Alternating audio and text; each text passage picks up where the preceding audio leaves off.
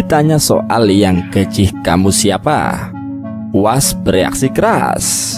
Dilansir surat kabar.id Ustadz Abdul Somad tak sanggup lebih lama menutup mulut terkait pernyataan Menteri Komunikasi dan Informatika Rudiantara ketika mengintimidasi seorang pegawai negeri sipil wanita di Kementerian Komunikasi dan Informatika.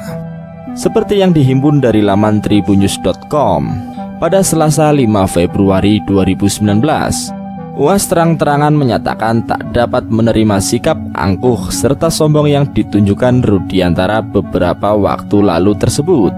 Tak sedikit pihak memang langsung bereaksi usai video yang gaji kamu siapa viral di media sosial. Bahkan sampai-sampai tagar yang gaji kamu siapa pun menjadi raja trending topik hingga dunia. Apa yang disuarakan Rudiantara memang menimbulkan polemik. Apalagi situasi yang kini tengah melanda kubu Joko Widodo dinilai tak kondusif Pasalnya kubu petahana telah memenjarakan sejumlah tokoh oposisi Sebut saja Ahmad Dhani Prasetyo yang harus mendekam di balik bui lantaran berpendapat tentang kaum pembela penista agama di Twitter. Pernyataan Rudiantara sukses memanaskan suhu politik jelang pemilihan presiden 2019. Tak terkecuali Ustadz Kondang Abdul Somad turut mengeluarkan reaksi ia bahkan sampai menggunakan nada suara tinggi ketika mengomentari pernyataan Menkominfo Rudiantara. Duit itu datang dari siapa? Siapa yang bayar gajimu? Allah. Bumi punya Allah. Langit pun punya Allah.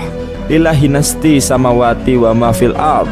Semua yang di bumi, semua yang di langit punya Allah. Karena itu, jangan sombong, jangan angkuh. Betul? Kata Was.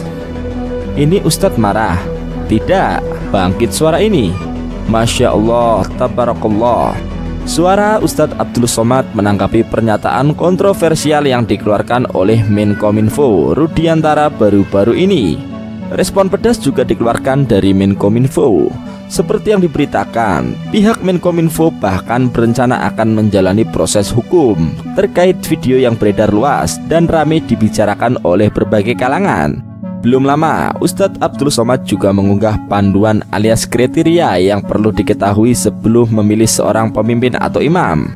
Melalui akun media sosial pribadi miliknya, UAS mengunggah tiga kriteria menjadi imam. Adapun salah satu di antaranya adalah memiliki penampilan yang rupawan, kemudian berakhlak baik serta lebih bagus pakaiannya.